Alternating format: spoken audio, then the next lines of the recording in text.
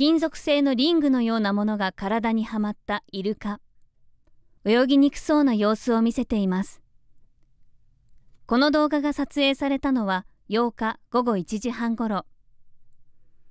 紋別海上保安部の巡視船空知の乗組員が撮影しました。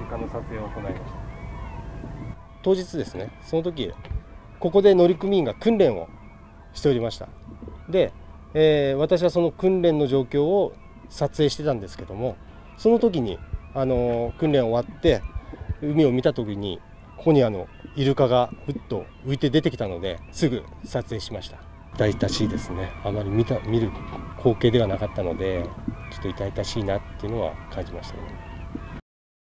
イルカの生態に詳しい日本鯨類研究所に取材すると。網の枠のようなものだじゃないかなと思いますね。こんな泳ぎ方しませんからあのおそらくもうかなり弱ってることは確かですね。痩せてますしあの通常もう少しもっとあのコロコロしてるんでおそらく食べてないから痩せてきてるんで、まあ、これからも餓死しかないと思いますね。